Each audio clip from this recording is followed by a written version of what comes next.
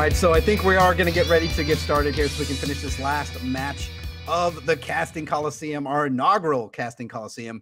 Uh, our final match of the night is going to be the Motivation versus Jakisha in the house. And let's go ahead and bring up the Motivation screen and take a look at motivation get a little uh, learn a little bit more about the motivation he hails from niagara falls canada he is 31 years old he pray he doesn't get flooded or shard screwed every day he weaves baskets and does extreme ironing while scuba diving. He's won a draft once, only once, and he thought it was really cool. You can find motivation at twitch.tv forward slash the motivation. Let's take a look at his deck. Uh, motivation is playing a blood diamond deck. Uh, the troops in his deck, he's playing two charge colossus, four of vampire king and vampire princesses, two Fanteo, the brood priests uh, one single Uranaz, four Angels of Dawn round out the troops for uh, Motivation's deck action, or he's playing a uh, two, three Soul Marbles as his constant.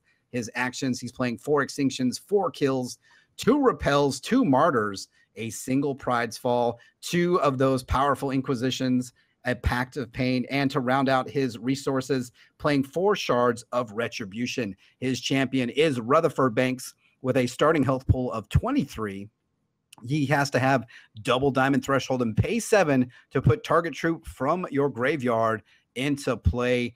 Dinotropia breakdown blood diamond banks for us. Sure thing. Uh, you know, I have to say, um, you know, we I think I think we saw this again. Uh, it was his first deck, very similar, if, if not exactly the same. And and the the unique feature of this deck is, to me at least, how it represents shifting meta. We've had uh, set three for several months now, and still things are changing.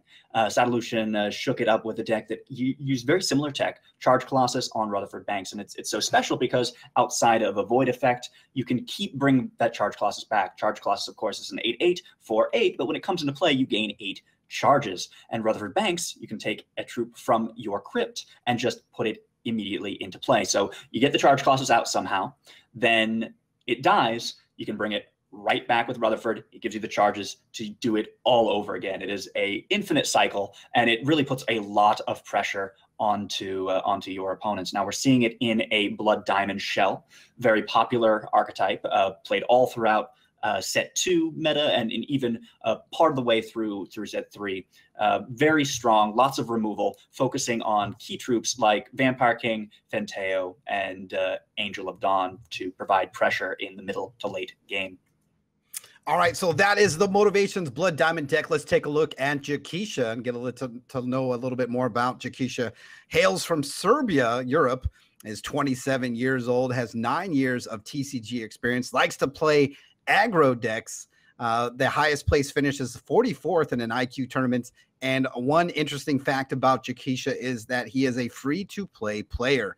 Let's take a look at Jakisha's deck for the Casting Colosseum, playing a Blood Diamond deck as well Four troops. And Jakisha's uh, main board is two Golden Avengers, four Ethereal Callers, two Grim Harvesters, two Bloat Caps, four Emperor's Lackeys, two Gortazumas, the High Cleric, two Shroomshaws, a Hop Hero, two Hop Hero Samurais, four Spirit Bound Spies, and two Valiant Escorts. Four actions uh, of Il'jin's Parade are in his deck, along with two kills, a single Abominate, two Martyrs. Uh, looks like we lost the rest of the deck. There we go. Two Meeks, and to round out his resource pool, playing three Shards of Retribution. Champion four uh, Jakisha is Madam Anana, which is a starting health pool of 29, requires a blood and diamond threshold, and pay three. Target troop you control gets when this dies, create a phantom and put it into play. Dinotropia break down this version of a blood diamond deck. So this is focusing a little bit more on on early aggression. Uh, I think Emperor's Lackey uh, plus uh, the ability to bring things back with Ethereal Caller. Um, what makes this deck so very interesting is it looks like it's something that's you know quote unquote outside of the meta. It's not what people um, who haven't been following very closely might expect uh, from this type of deck. Nevertheless, in the second to last IQ, we had uh, a deck list, in fact, very similar to this one, uh, making it to the top eight. So it, it is a proven deck archetype. We're going to see how it holds up against the more traditional form of Blood Diamond here today. All right, so let's go ahead and head down to the tournament floor where we have the motivation versus Jakisha in our third casting Colosseum matchup of the night. And huge stakes are on the line for Jakisha. If Jakisha can win, will win double the draft packs and a set three primal pack. And if motivation can win, we'll walk away with that set three uh, primal pack. So let's uh, we're gonna wait for players to challenge each other uh, for this final matchup of tonight's casting Colosseum. This is going to be interesting because, you know, on the one hand, they're they're both playing the same shards, blood and diamond. One, on the other hand, is is a how do I put it? Late game. Charge Colossus is, is the epitome of late game advantage, whereas you have uh, Shaw on on the flip side playing something that's all about early game advantage. So this is really going to be a challenge of late game versus early game, which can overcome the other. Coin toss here is going to decide which player will be able to go first. Coin toss is won by Jakisha, and we'll take a look at opening hands after Jakisha decides to play or draw.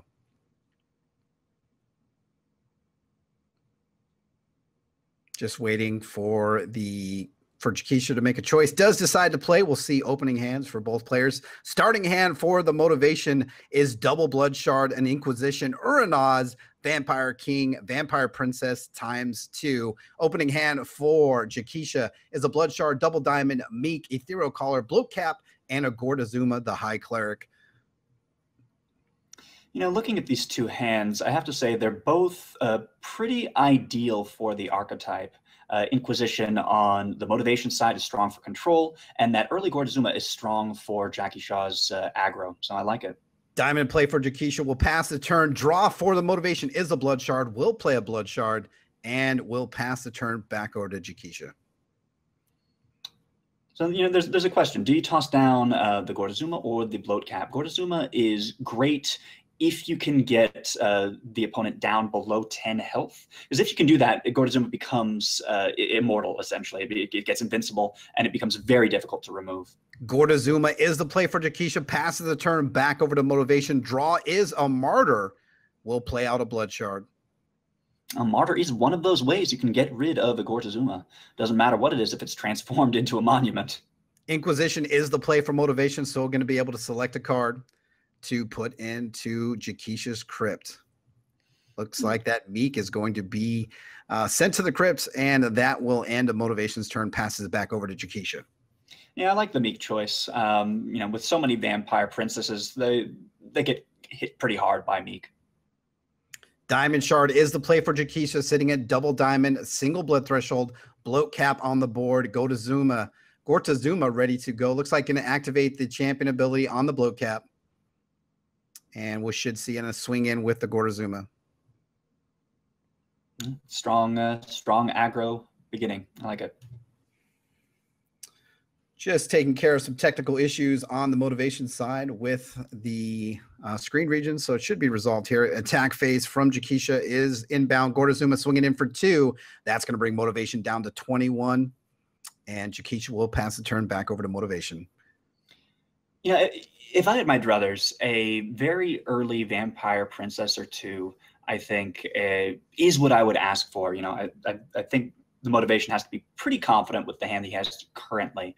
Um, as vampire princess, you know, Gordazuma might be uh, an aggressive troop on the board, but as long as it doesn't reach that critical point of, of below 10 health, you can just keep on, you know, waiting for an answer that can that can remove it from the board. And it's it's a pretty safe position to be in.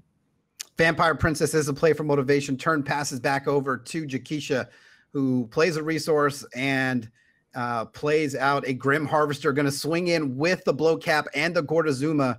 Hard decision here for uh, the motivation as far as the blocks. I was going to block anything. It should be that bloat cap. Going to block the bloat cap. Going to gain two life. Take three damage from Gordazuma going to sacrifice with the Grim Harvester, which is going to force motivation to discard that Uranaz. Three damage.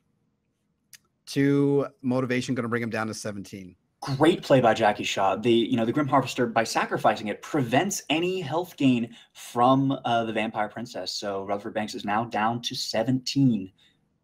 Turn passes back to motivation, plays a second Vampire Princess and will be able to swing in with the Vampire Princess. Decides not to, though.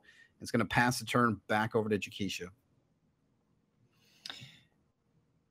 Jackie Shaw is going to need some way to get rid of uh, at least one of those princesses. You know, if he gets removal, that'll allow him to swing in. But until he does, he is going to be stuck uh, in a little bit of a holding pattern. Shard of Retribution is played for Jakisha. Sitting at four open resources. There's a little bit of mystery here since we don't know exactly what is in uh, Jakisha's hand at the moment. Looks like our screen region is bugged. So it's uh, does does he have that answer? I feel like if he did, he'd be swinging a little bit more aggressively. And indeed, it looks like after the refresh, he does not have that response. So how does he get past uh, the vampire princess if he waits for too long that'll let motivation get towards that late game which as we know from from the deck breakdown is the stronger uh, stronger position looks like a swing in with Gordozuma. That's going to be four damage. Going to double block with the Vampire Princesses to eliminate the threat from Gordozuma. Uh, he is going to lose a Vampire Princess in the process. Goes up to 21 health. An Ethereal Caller from Jakisha is going to bring. Uh, looks like he's going to select the bloat cap uh, will come back as a phantom and uh, pass the turn back over to motivation. His draw, Soul Marble, will play out a Vampire Princess. No diamond uh, threshold for motivation, and has two Vampire Princesses on board facing off against two Phantoms and Ethereal Caller. Will pass the turn back over to Jakisha. Now, Adam, I actually really like bringing back the bloat cap because what he's done is created a, a huge wall of flyers.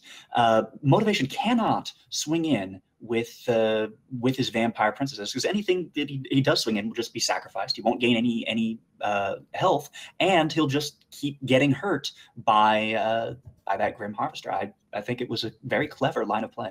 Absolutely, Shard of Retribution is the play for Jakisha. Will double up on that phantom uh, with the champion power. So when that dies, it will create two phantoms and put them into play. And it looks like a Jakisha uh, not going to attack here. Pass the turn back over to motivation. His draw is a shard of retribution of his own.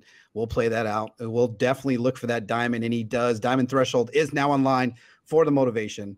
Soul Marble is put onto the board. One resource remaining for the motivation. Solmar was going to put a lot of pressure onto Jakisha. He, he needs to start being more aggressive before those counters get all the way up, because once it gets up, he's not going to be able to remove anything on the board.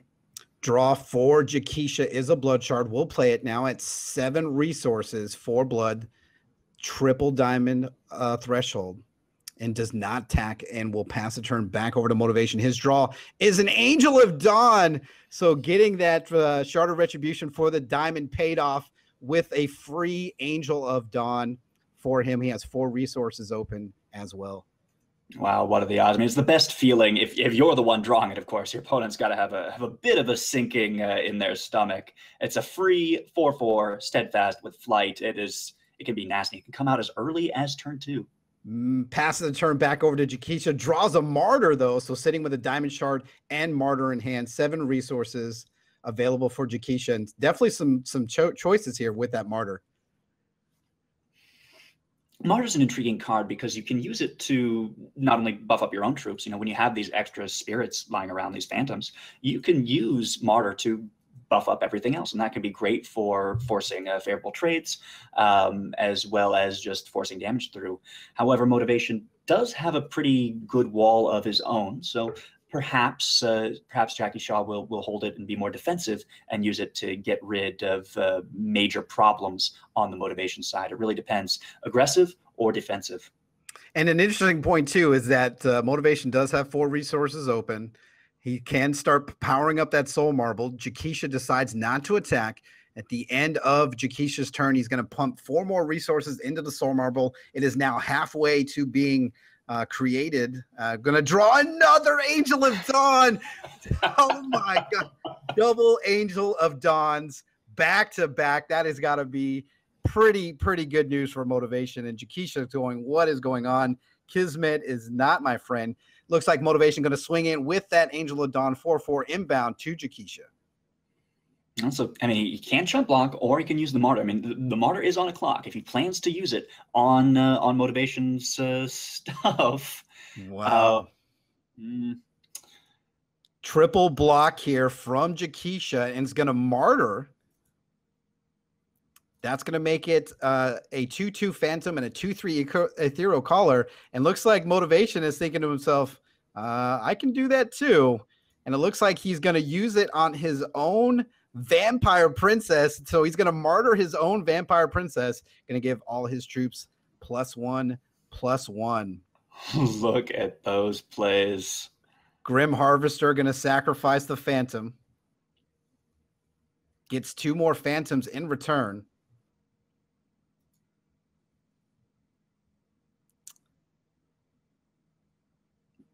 And looks like uh, there is not going to be any damage that's going to be dealt. Uh, and uh, two angels, though, and a vampire princess on board for the motivation as he passes it back over to Jakisha. Draw for Jakisha is an Emperor's Lackey sitting with a Diamond Shard Emperor's Lackey. We'll play out that Emperor's Lackey. It is a 5 5 on the board, Diamond Shard left in hand. The difficult, the difficult thing for Jakisha is that um, you know while he does have a board, it is uh, smaller than what the motivation is able to bring to the table, and so eh, he's really losing the opportunity to turn things around. He needs another either third, third Angel of Dawn. The top decks are real for the motivation. Oh my gosh. He is the top deck master of this matchup gonna pump up Soul Marble up to 10 and activate Soul Armaments. So his troops are even gonna be more deadly. Five, six Vampire Princess and three, seven, seven Angels of Dawn. How do you come back from that? I don't know. I don't know if you can. Gonna swing in with all the uh with the Vampire Princess and both Angel of Dawns. That is 19 damage inbound. That is amazing top decks for the motivation. wow. So gonna sack block and then sacrifice a Grim Harvester. Jakisha is gonna go up to 24, then back down to 17 health. And motivation will pass the turn back over to Jakisha. This is gonna be hard for Jakisha to fight back. He, he needs that extinction. I mean, he, without extinction, we are presenting lethal in the air uh, on the motivation side. So a parade is played. There are two, three, three troops on the board, but unfortunately, none of those can block the flyers. And uh, lethal is represented on the turn for motivation uh, because Jakisha cannot stop those angels or vampire princess. I have my fingers crossed for angel number four. I mean, come on. Oh, oh. Doesn't get it, but gets a vampire king. So uh, when you have three angel of dawns and a vampire princess on the board, what makes it better? Just add a vampire king and gonna swing in with the three angels and the vampire princess. No way to block, and the motivation is going to take game number one here against Jakisha. Jakisha gonna go ahead and sacrifice the lackey to gain some health. And go down to negative eight. So that's it. Motivation takes game number one here in the Casting Colosseum. Let's go ahead and take a look at reserves and options that each player could have to uh, reserve into their main deck. Motivation is playing with three Vampiric Kisses, three Solitary Exiles, a single Pride's Fall, a single Sorrow, Withering Touch, two Cerebral Dominations, a Soul Marble, Pact of Pain, and two Zentos Inquisitors. What are some options here for Motivation? I really like either Solitary Exile or Vampiric Kiss as tech against the more aggressive form of the Blood Diamond matchup. Uh, Solitary Exile is nice because it does void uh, cards, and so things that would be you know brought back again and again by ethereal callers are suddenly off the table. Uh, similarly, I like Vampiric Kiss because you are looking at uh, what is more or less an aggro variant of the Blood Diamond uh, deck, and so Vampiric Kiss is great against aggro. It gives you a little bit of extra health and also takes care of a pesky troop. So those those are the the cards I would gravitate towards uh, mostly. Uh, on the second side, Zentos Inquisitor is not bad if you can you know, reduce the attack of a troop. It stops becoming quite as useful. Let's take a look at Jakisha's reserves, playing with three Solitary Exiles, two Inquisitions, a Meek, two Pride's Fall, three Withering Touch, two Deathless Guardians, a single Frost Wizard, and a Hope Heart, Hope Heart Unicorn. What are some options here for Jakisha? well, there's so many vampire princesses, uh, Meek or uh, you know, with the Angels pride's Fall seems like a, a, viable option. If you want to uh, cut, uh, go right down the middle, you could, of course, toss in some Solitary Exiles. Same deal. You get to void things, and they do not come back unless, uh, well, unless you start putting boxes and boxes and boxes. We might see some of that action uh, in game number two.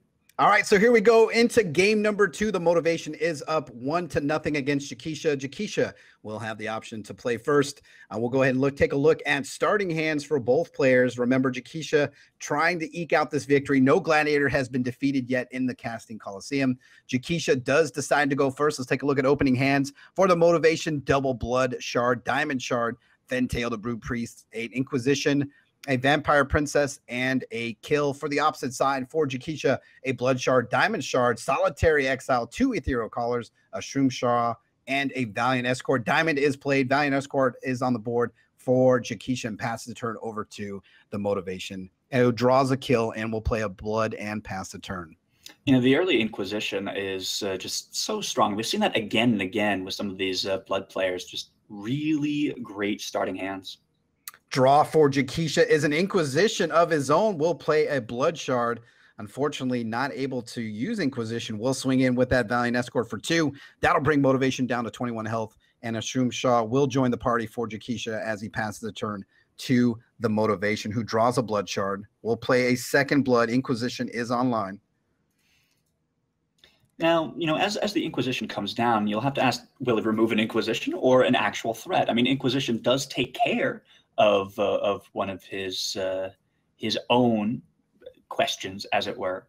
Um, also provides information, which is perhaps more insidious. I think the the call was the correct call to take that Inquisition out. He wants to keep those two double kills that Fentail, the Brood Priest, and Vampire Princess. So uh, I think that was a good call. Draw for Jakisha is a Shard of Retribution. We'll see. Probably going to go for that Diamond Threshold, and he does sitting at two open resources, double diamond, and single blood threshold. Will activate the charge ability, champion ability on that Shroom Shaw. Going to swing in for three. This is going to bring motivation down to 18. Yeah, it's again that that aggro, but if he gets an early vampire princess down or a vampire king, that aggression can turn around fairly quickly. Speaking of vampire kings, the draw is a vampire king. Will play out a diamond shard. Uh, motivation sitting at double blood and single diamond thresholds can use uh, can play Fentail, can play Vampire Princess.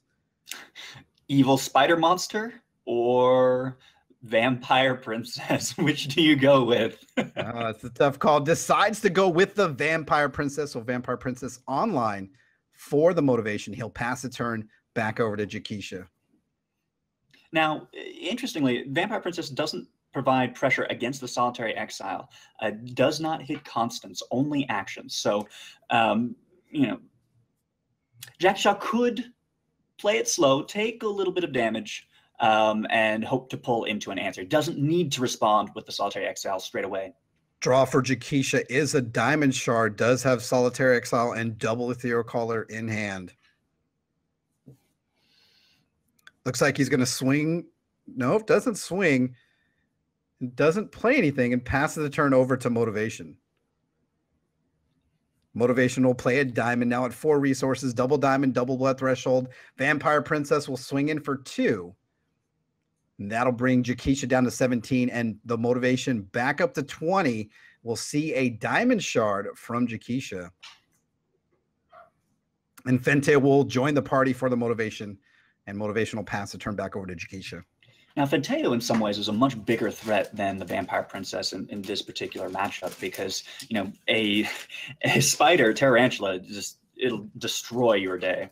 Solitary Exile will take care of the Fenteo, the Brood Priest. Plays out a Diamond Shard sitting at one open resource. Will swing with the Valiant Escort and the Shroom Shaw. That's three damage. Bring the motivation down to 17 health and will pass the turn back over to motivation. His draw is a Vampiric Kiss. We'll play there a blood shard. Is that five? Yeah, seeing some of those sided in. It's a strong tech against a bunch of small bodied troops. Vampiric, uh, the vampire princess will swing in for two.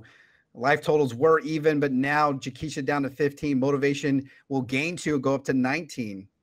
Sees that ethereal caller. So, Adam, do you remember if that Vampire Princess was in uh, Motivation's opening hand? Because if it is, he will be able to turn that Vampiric Kiss uh, into a zero cost action. It was. Ah, there you go. So five open resources going to swing in with that Shroom Shaw. It is, uh, it was uh, activated with the champion power. So when it dies, it will bring a Phantom. Going to block with the Vampire King that brings motiv- uh, Motivation's life total to 22. Two Battle Hoppers are on the board for Jakisha. Ethereal Caller going to bring back the Shroom Shaw. It's, it's not it's not a great position to be in, but at the very least, you can prevent uh, your health total from going down. Deja vu. Here is the first free Angel of Dawn for the motivation. Nothing better than getting a free Angel of Dawn uh, and going to attack phase. It looks like Vampire Princess, Vampire King, the combo coming in for five damage. More importantly, if that Vampire King hits, 50% chance to hit that Ethereal Caller. Yeah, I mean, I, I've got to feel like blocking at least the Vampire King is a solid move for for Jakisha here, but it's it's a tough position to be in. You've only got so many. He's going for it. Going to activate for the free Vampiric Kiss on the Ethereal Caller. He's going to gain two health from that as well. Oh, the you know the 50-50 gamble is is what's so incredible here. I mean, Jakisha is rolling the dice. If he loses that ethereal caller, I don't know how he's going to come back short of a board reset. Kill on the Valiant Escort.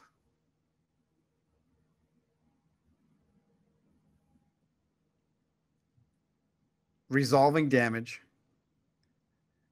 Motivation goes to 27 health versus Jakisha's 12 and he dodged it. Ethereal Caller still in hand. Wow. Jakisha will play out a blood shard at six resources, four diamond threshold, two blood. Will play the ethereal caller. Gonna find a troop in his crypt and bring it back. Looks like he's gonna pick a phantom that has the ability to bring another phantom back when it's gone. Putting the champion ability on it. That means if that phantom dies, two more phantoms will take its place. Jakisha will pass the turn to the motivation. Draws a vampiric kiss. He's, he's back in that holding pattern, right? He's got to find some way to curb this aggression with only 12 health. Uh, he can only take a couple of blows. Nine damage inbound, Vampire King, Vampire Princess, and an Angel of Dawn inbound. Jakisha triple blocks the Princess, but uh, Vampiric Kiss is going to take care of that Ethereal Caller, gain two life. He goes to 29 and both phantoms are going to go down. But when two are gone, two more are going to come back in its place. Shard of Retribution is revealed. Motivation sitting comfortably at 34 health. Jakisha at five as the turn passes back over to Jakisha. Draws a Golden Avenger. We'll play it. Now, this might turn things around. Golden Avenger, crucially, can block um, any of these guys and uh, come out ahead. Before the end of Jakisha's turn, that kill will take care of the Golden Avenger. And the Mask of the Avenger goes into Jakisha's hand. Draw four. The motivation is a soul marble. So, for, for those who aren't familiar with Mask of the Avenger, it can be used to turn any troop into the Golden Avenger again. So, you can keep having it come back over and over and over again um, as long as you have troops on board. Jakisha lets the Vampire King go through is down to two health. Soul Marble is the play for the motivation. It's going to go ahead and pump in three charges and pass the turn back over to Jakisha. Needs to draw an answer here for this board state from motivation. Draws a kill and has Mask of the Golden Avenger. Oh, it's or Mask away. Mask of the Avenger on the Battle Hopper draw for motivation is a diamond shard. That'll bring him up to six resources, triple diamond, triple blood threshold, attack phase. Everything's coming across the board to Jakisha. The kill will be able to stall one of the troops, the Golden Avenger the other, but somebody's getting through. Indeed. It looks like the kill is going to take out the Vampire King. Golden Avenger will take care of the Angel of Dawn, but unfortunately for Jakisha, Vampire Princess is going to finish it. And Motivation takes this matchup two to nothing against Jakisha in the final match of the Casting Colosseum. Our gladiators are victorious. No one has been able to defeat them. Great matchup there between Jakisha and the Motivation. What a game, to be sure. I mean, if nothing else, it was really interesting to see how these two variants of what are essentially the same deck, you know, we call them um, blood and diamond, like a blood diamond deck, as if that is the same kind of deck. And yet there are so many variants. It's the great thing about Hex, and it's the great thing about a TCG.